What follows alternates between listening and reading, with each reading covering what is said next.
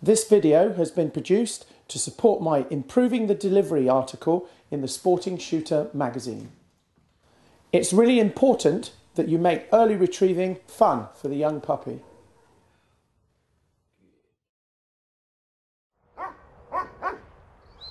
Starting by teaching your dog to come straight to your feet and sit in front of you is the beginning of the trained retrieve.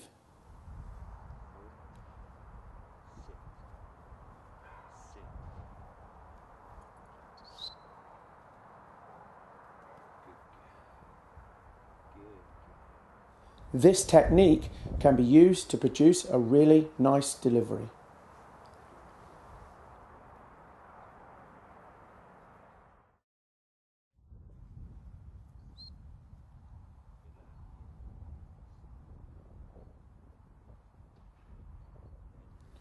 And there it is, the perfect delivery.